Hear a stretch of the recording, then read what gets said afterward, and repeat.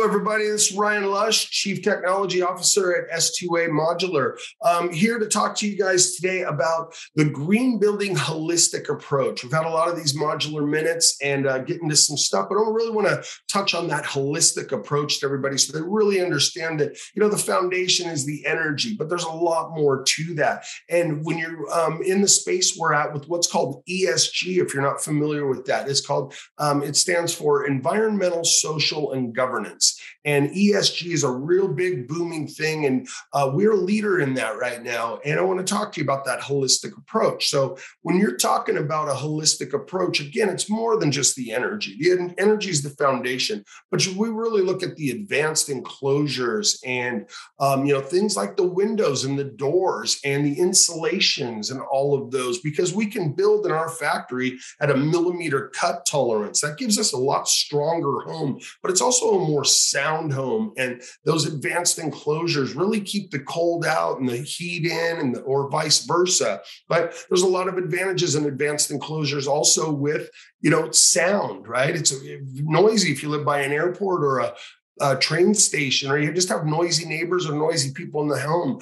Big big uh, sound difference there. You really um, have a nice noise reduction with that.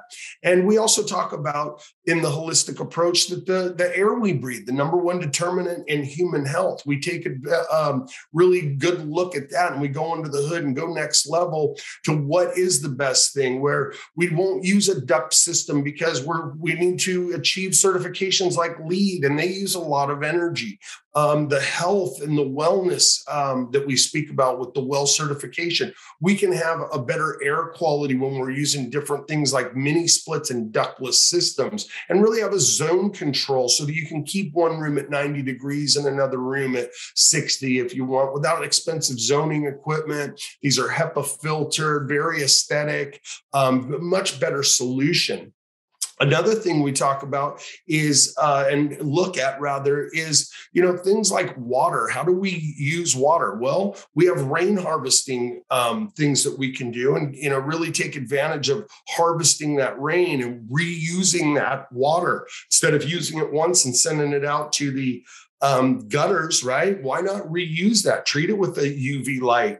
And um, when that UV light treats that, we can top off our pools with that. We can refill our toilets with that.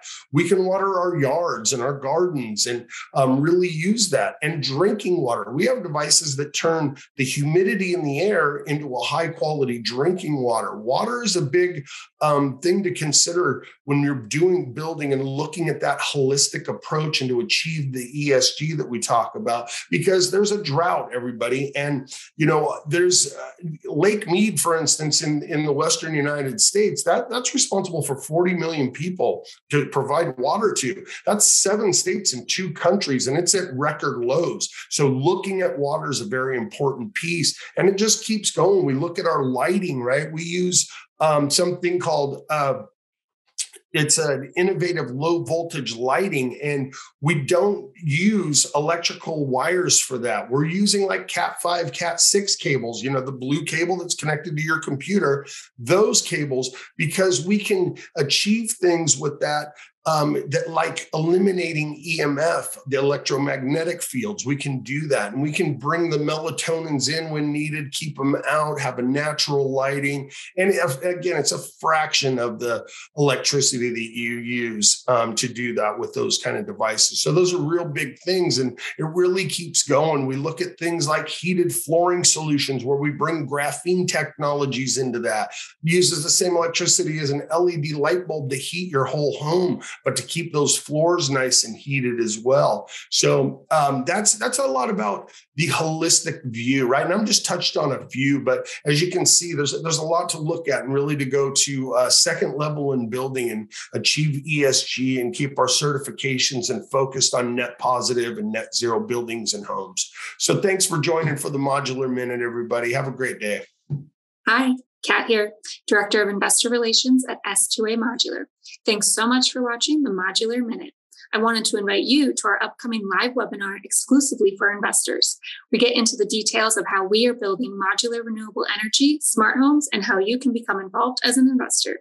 Click the link below to register. See you there.